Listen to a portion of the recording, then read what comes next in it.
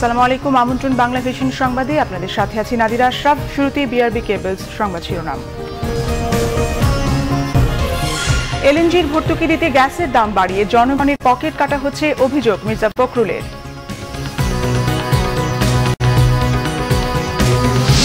হজ ব্যবস্থাপনা উন্নয়নের সব অবদান প্রধানমন্ত্রীর। এবার দালালদের তৎপরতা ও এজেন্সির প্রতারণার আশঙ্কা নেই বললেন ধর্ম প্রতিমন্ত্রী সাবেক রাষ্ট্রপতি এইচ এম এরশাদের শারীরিক অবস্থা শঙ্কামুক্ত নয়। কৃত্রিমভাবে সব অঙ্গ সচল রাখা হয়েছে, জানিয়েছেন জি এম কাদের।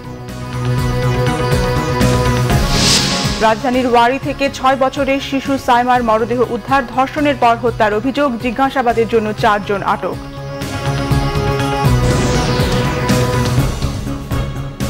দেখছিলেন বিআরবি কেবল সংবাদ শিরোনাম, এবারে বিস্তারিত।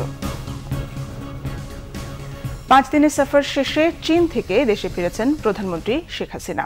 বাংলাদেশ বিমানের একটি বিশেষ ফ্লাইটে দুপুরে ঢাকায় ফেরেন তিনি। হজরত শাহজালাল আন্তর্জাতিক বিমানবন্দরে প্রধানমন্ত্রীকে অভ্যর্থনা জানান মন্ত্রী পরিষদের সদস্য, সামরিক, বেসামরিক প্রশাসনের ঊর্ধ্বতন কর্মকর্তারা। সফরে চীনের ডালিয়ানে ওয়ার্ল্ড ইকোনমিক ফোরামের বৈঠকে যোগ দেন প্রধানমন্ত্রী। এছাড়া বেইজিংয়ে দেশটির প্রধানমন্ত্রী লি কেকিয়াং এর সঙ্গে দ্বিপক্ষীয় বৈঠক করেন শেখ হাসিনা। এ সময় বিদ্যুৎ, জ্বালানি সহ বেশ কয়েকটি ক্ষেত্রে চুক্তি ও সমঝোতার স্মারক সই হয়। দেশটির প্রেসিডেন্ট শি জিনপিং এর সঙ্গে দ্বিপক্ষীয় বৈঠক করেন প্রধানমন্ত্রী শেখ হাসিনা। রোহিঙ্গাদের দেশে ফেরাতে চীনা প্রেসিডেন্টের সমর্থন আদায়ে জোর প্রচেষ্টা চালিয়েছেন প্রধানমন্ত্রী। এছাড়াও দেশটির ব্যবসায়ী প্রতিনিধি দলের সঙ্গে বৈঠকের পাশাপাশি নাগরিক সংবর্ধনাতেও যোগ দেন প্রধানমন্ত্রী শেখ হাসিনা।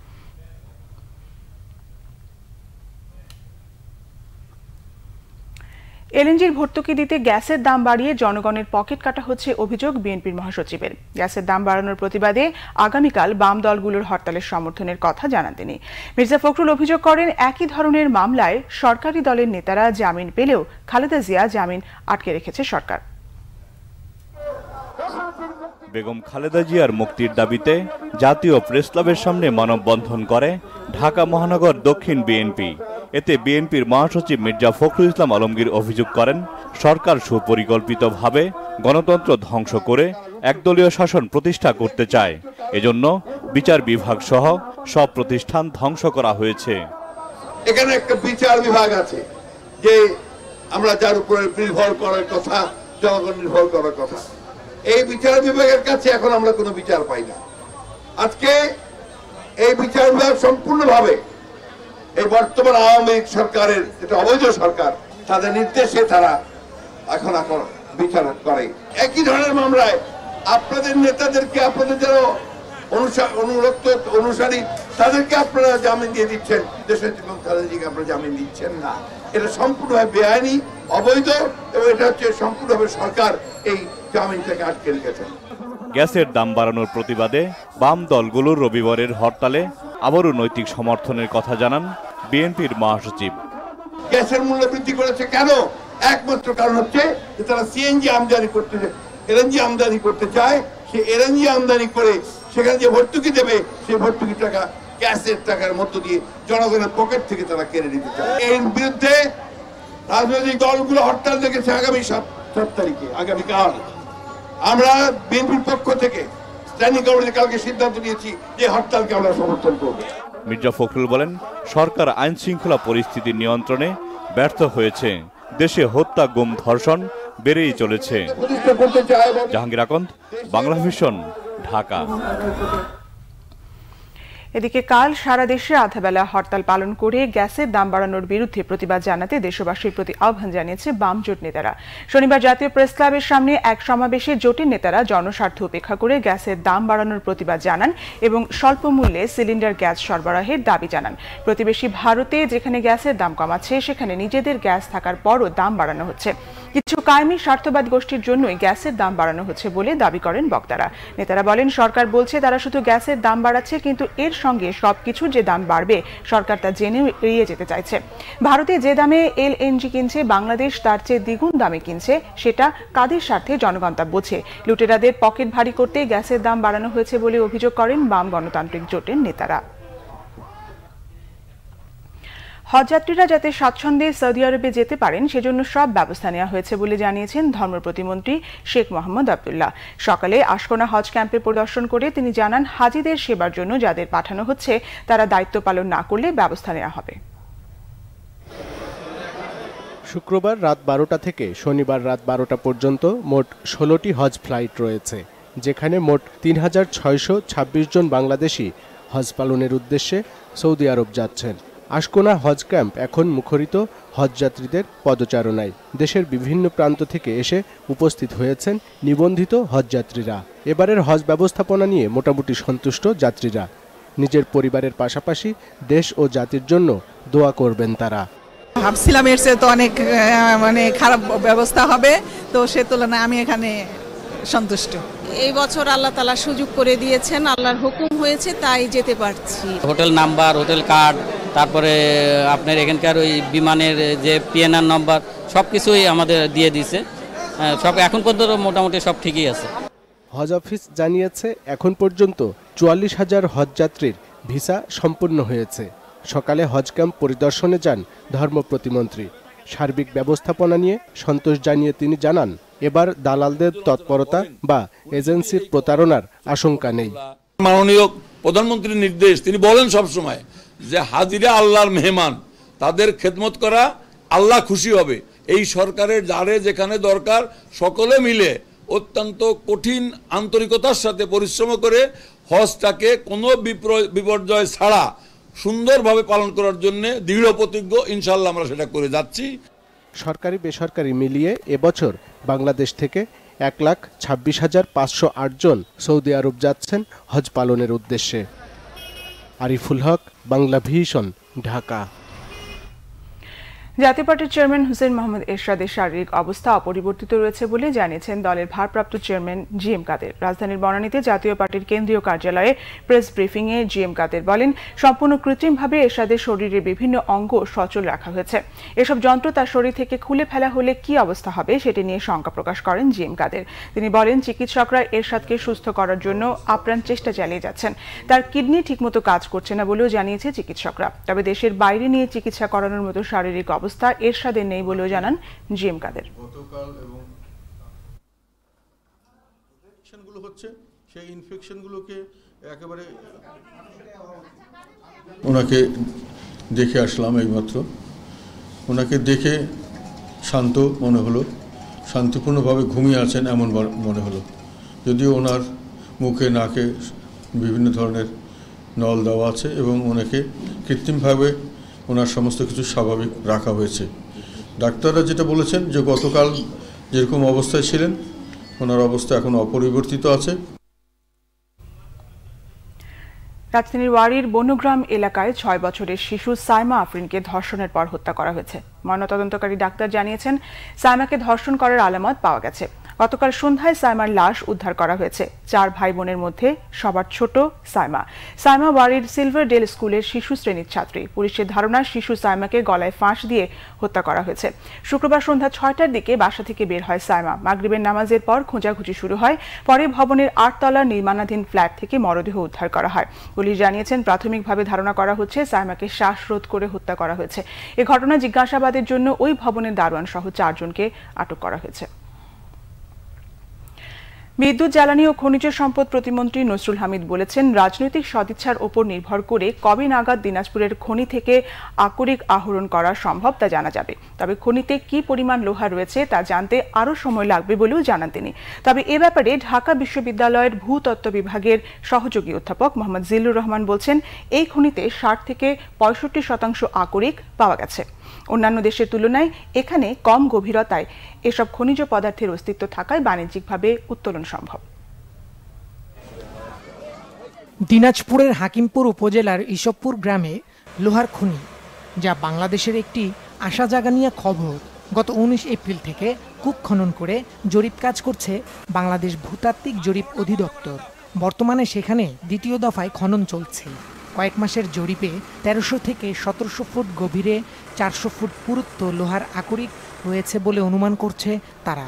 সংশ্লিষ্টরা বলছেন এর ব্যাপ্তি ছয় থেকে দশ কিলোমিটার হতে পারে।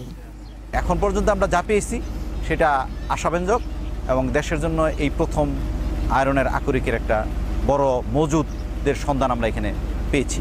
রিজার্ভ কি পরিমাণ আছে? রিজার্ভ ক্যালকুলেশন করে এটা যদি ফিজিবল হয় তাহলে আমরা তুলতে পারব এটা উত্তোলন করতে পারব। নিজস্ব কয়লা কঠিন শিলা লোহা এগুলো বিশ্বের কাছে অন্যভাবে পরিচিত করতে পারে বাংলাদেশকে। তাই সরকারও আশাবাদী দিনাজপুরের এই লোহার খনি নিয়ে। বাংলাদেশে আয়রন ওর পাওয়া গেছে এই পর্যন্ত।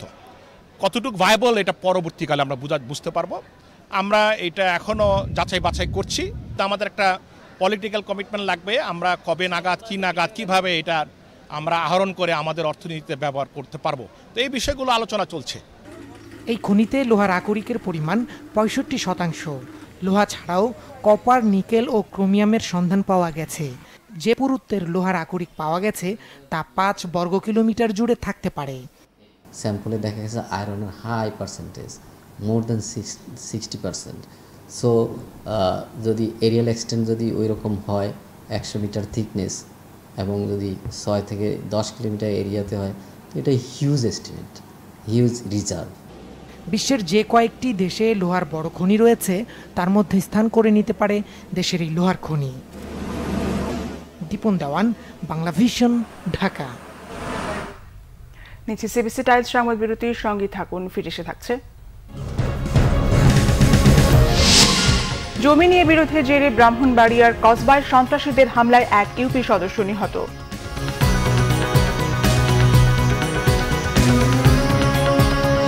যুক্তরাষ্ট্রে থাকা অবৈধ অভিবাসীদের বিতাড়িত করার অভিযান শিগগিরই শুরু হবে, জানিয়েছেন ডোনাল্ড ট্রাম্প।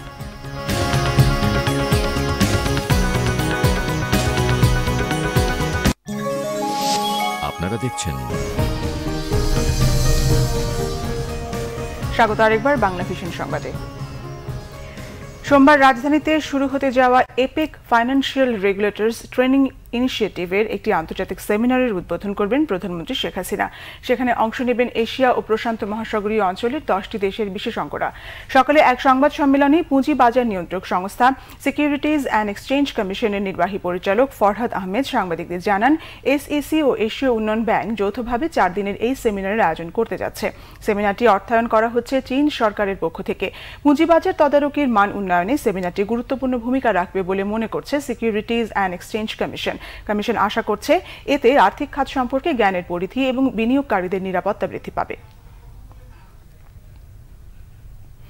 জমি নিয়ে বিরোধের জেরে ব্রাহ্মণবাড়িয়ার কসবায় সন্ত্রাসীদের হামলায় নিহত হয়েছেন এক ইউপি সদস্য। পুলিশ জানায়, সন্ত্রাসীদের হামলায় নিহত মোহাম্মদ সৈকত হোসেন নেহারি ইউনিয়ন পরিষদের সদস্য ছিলেন। তার বাড়ি নেহারি ইউপির যমুনা গ্রামে। দীর্ঘদিন ধরে ওই গ্রামের মানিক মিয়া ও সিদ্দিক মাস্টারের মধ্যে জমি নিয়ে বিরোধ চলছিল। এরই জেরে সিদ্দিক মাস্টারের লোকজন গত রাতে বাড়ি থেকে ডেকে নিয়ে সৈকত হোসেনকে মারধরের পর স্থানীয় একটি বিদ্যালয়ের কক্ষে আটকে রাখে। খবর পেয়ে তাকে গুরুতর অবস্থায় উদ্ধার করে প্রথমে কসবা উপজেলা স্বাস্থ্য কমপ্লেক্সে ও পরে কুমিল্লা মেডিকেলে নিয়ে যায় স্বজনরা। সেখানে অবস্থা আরও অবনতি হলে তাকে উন্নত চিকিৎসার জন্য ঢাকায় আনার পথেই মৃত্যু হয় তার। নাটোর জেলা পরিষদের সংরক্ষিত সদস্যের বিরুদ্ধে প্রকল্পের অর্থ আত্মসাতের অভিযোগ উঠেছে। স্বামী ও সন্তানের প্রতিষ্ঠানের নামে অর্থ বরাদ্দ দিয়ে অর্থ আত্মসাত করায় ক্ষুব্ধ স্থানীয়রা। তবে অভিযোগ অস্বীকার করেন ওই সদস্য। আর অনিয়মের বিষয়টি তদন্ত করে ব্যবস্থা নেওয়ার কথা বলছেন সংশ্লিষ্টরা। সরকারের দেয়া বিভিন্ন প্রকল্পের টাকার পুরোটাই আত্মসাতের অভিযোগ উঠেছে। নাটোর জেলা পরিষদের বাগাতিপাড়া এলাকার সংরক্ষিত সদস্য ফরিদা পারভিনের বিরুদ্ধে। ছেলে পরিচালিত তাথই নৃত্যকলা শিল্প একাডেমি ও স্বামীর নিয়ন্ত্রণে থাকা মিলন সংঘকে দুই মেয়াদে বরাদ্দ দেয় পাঁচ লাখ টাকা। এছাড়া মসজিদ ও গোরস্থানের বরাদ্দের অর্ধেক টাকাও হাতিয়ে নেয়ার অভিযোগ করেছেন স্থানীয়রা। ফরিদা পারভিন এবং তার স্বামী ইউনুস আলী এলাকার লোকের সঙ্গে প্রভাব বিস্তার করে বিভিন্ন সরকারি টাকা সরকারি অনুদান আত্মসাৎ করছে। কখন কেউ কীভাবে বরাদ্দ আসছে এবং এই টাকা কীভাবে খরচ করছে সেটাও আমরা বলতে পারব না। জেলা পরিষদের টাকা সে আত্মসাৎ করেছে। আমরা তার সুস্থ বিচার চাই। নিয়ম মেনেই বরাদ্দের টাকা ব্যয় করা হয়েছে। আত্মসাতের অভিযোগ বানোয়াট ও মিথ্যা। দাবি ফরিদা পারভিনের স্বামী ও সন্তানের। জনগোষ্ঠীকে একটা জ্ঞানের আলো ছড়ানোর জন্য অপসংস্কৃতিকে দূর করার জন্য আজকে গাঁজা মদ ফেন্ডি বলেন যত কিছু অপকর্ম আছে সেখান থেকে দূরে রাখার জন্য আমি একটা জ্ঞান আহরণের একটা জায়গা তৈরি করছি। এখানে যারা ইয়ে করে সবার সবার কিন্তু সামর্থ্য নয় ওরা পোশাক আশাক ড্রেস ট্রেস ওরা নিজেরা করতে পারে না। ওগুলো আমার একাডেমি থেকেই ব্যবস্থা করতে। উত্থাপিত সব অভিযোগ অস্বীকার করেন ফরিদা পারভিনও। আমি স্বামী এবং সন্তান বলে ওই বরাদ্দ দিই নাই। এসে- এখানে সব- সকল কাজ সুষ্ঠু মতো হয়েছে। এবং মসজিদ এবং গুরুস্থানে যে সকল বরাদ্দ দেওয়া হয়েছে সেগুলোরও টাকা সম্পূর্ণভাবে তারা বুঝে পেয়েছে। তদন্ত সাপেক্ষে এসব অনিয়মের অভিযোগে ব্যবস্থা নেওয়া হবে জানায় ইউএনও ও জেলা পরিষদ। জেলা পরিষদের সদস্য মোসাম্মদ ফরিদা পারভিনের বিরুদ্ধে যে অভিযোগটা আমরা পেয়েছি অভিযোগটা তদন্ত করে দেখা হবে। আমি নিজে অভিযোগ পেয়েছি।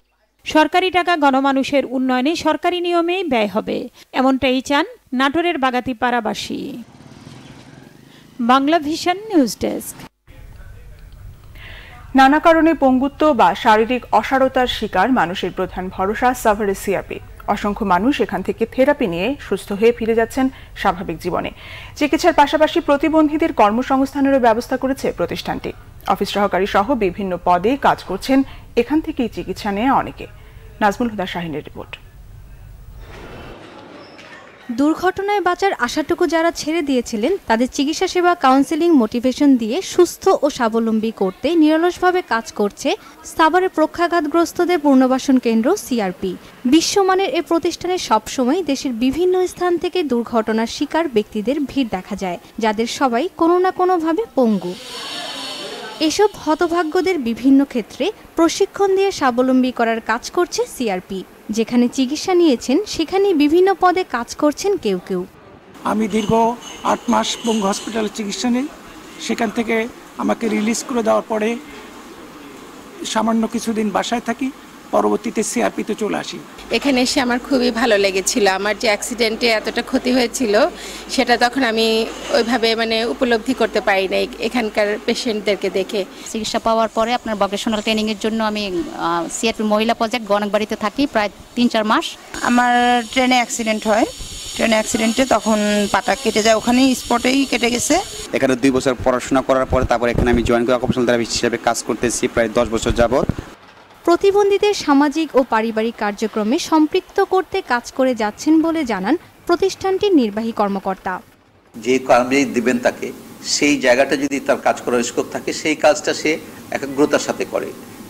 আমরা যেটা বলি যে কমন কথায় যে, ফাঁকি ঝুঁকি দেওয়ার প্রবণতা তাদের অত্যন্ত কম। তারা সিনসিয়ার সো অন্য কর্মীদের তুলনায় যদি চিন্তা করেন, তাহলে তাদের পারফরমেন্স সেই জায়গাটাতে অনেক ভালো। বেসরকারি অনুদানে পরিচালিত মানব হিতৈষী এ প্রতিষ্ঠানের প্রতিষ্ঠাতা ব্রিটিশ নারী হেলরি অ্যান্ড টেইলর। উনিশশো সালের এগারো ডিসেম্বর শহীদ সরার্দি হাসপাতালের দুটি পরিত্যক্ত গোডাউনে মাত্র চারজন রোগী নিয়ে এ প্রতিষ্ঠানের যাত্রা শুরু হয়। Bangla Vision news desk. সড়ক দুর্ঘটনায় সিরাজগঞ্জ, সাতক্ষীরা ও চুয়াডাঙ্গায় চারজন নিহত হয়েছে।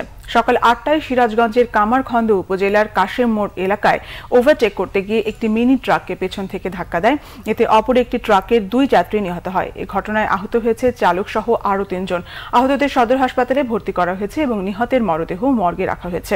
এদিকে সকাল দশটায় সাতক্ষীরার পাটকেল ঘাটায় ট্রাক চাপায় এক কলেজ শিক্ষিকা নিহত হয়েছেন। এ ঘটনায় ট্রাকটি জব্দ করে চালককে আটক করা হয়েছে। অন্যদিকে চুয়াডাঙ্গার মোমিনপুরে ট্রেনে কাটা পড়ে শুকুর আলী নামে এক ব্যক্তির মৃত্যু হয়েছে। নিহতের মরদেহ উদ্ধার করে সদর হাসপাতাল মর্গে পাঠিয়েছে রেলওয়ে পুলিশ। টানা তিন দিনের বৃষ্টিতে কক্সবাজারের রোহিঙ্গা ক্যাম্পের দুইশো তিয়াত্তরটি আশ্রয়স্থল ক্ষতিগ্রস্ত হয়েছে এবং আহত হয়েছে এগারো জন। বাসস্থান ক্ষতিগ্রস্ত হওয়ায় অস্থায়ীভাবে দুই হাজার একশো সাঁত্রিশ জনকে নিরাপদ স্থানে সরিয়ে নেওয়া হয়েছে বলে জানিয়েছেন জাতিসংঘের শরণার্থী বিষয়ক সংস্থা ইউএনএইচসিআর মুখপাত্র চার্লি ইয়াগজলি। শুক্রবার এক সংবাদ সম্মেলনে চার্লি ইয়ার্সলি জানান, গেল বাহাত্তর ঘন্টায় কক্সবাজারের রোহিঙ্গা ক্যাম্প এলাকায় সাড়ে তিনশো মিলিমিটারের বেশি বৃষ্টিপাত হয়েছে। আগামী চার মাস এই অঞ্চলে বর্ষার মৌসুম চলবে বলে জানান তিনি। ইউএনএইচসিআর মুখপাত্র জানান, বৃষ্টিপাতের কারণে ছাব্বিশটি ভূমি ধসের ঘটনা ঘটেছে। বাসস্থান ক্ষতিগ্রস্ত হওয়ায় অস্থায়ীভাবে দুই হাজার একশো সাঁত্রিশ জনকে সরিয়ে নেওয়া হয়েছে। ইউএনএইচসিআর এর দুই হাজার উনিশ সালের পরিকল্পনা অনুযায়ী রোহিঙ্গা সংকট মোকাবেলায় বিরানব্বই কোটি ডলারের মধ্যে একত্রিশ কোটি মার্কিন ডলার পেয়েছে বাংলাদেশ। আমিন জুয়েলার্স আন্তর্জাতিক সংবাদ।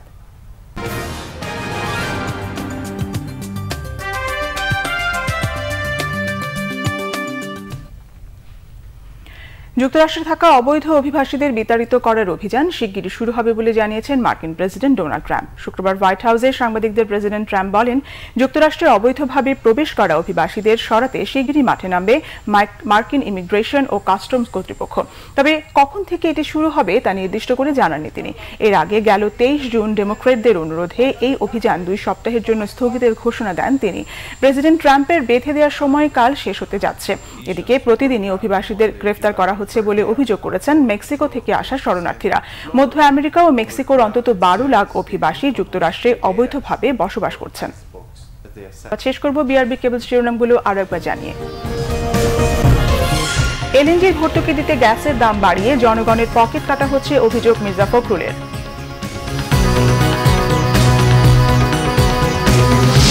হজ ব্যবস্থাপনা উন্নয়নের সব অবদান প্রধানমন্ত্রীর। এবার দালালদের তৎপরতা ও এজেন্সির প্রতারণার আশঙ্কা নেই বললেন ধর্ম প্রতিমন্ত্রী। সাবেক রাষ্ট্রপতি এইচ এম এরশাদের শারীরিক অবস্থা শঙ্কামুক্ত নয়। কৃত্রিমভাবে সব অঙ্গ সচল রাখা হয়েছে, জানিয়েছেন জি এম কাদের। রাজধানীর ওয়ারি থেকে ছয় বছরের শিশু সাইমার মরদেহ উদ্ধার, ধর্ষণের পর হত্যা করা হয়েছে, জিজ্ঞাসাবাদের জন্য চারজন আটক।